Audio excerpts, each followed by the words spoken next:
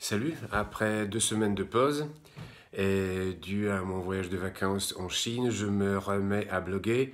Et donc aujourd'hui, je dirais, c'est une mise à jour euh, d'inauguration. Après ces deux semaines euh, d'interruption.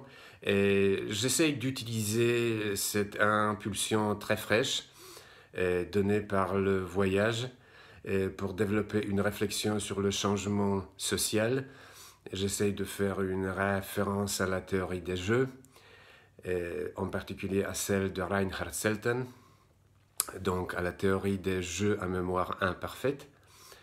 Et, et voilà, je vous souhaite une bonne lecture ce beau dimanche matin et à bientôt.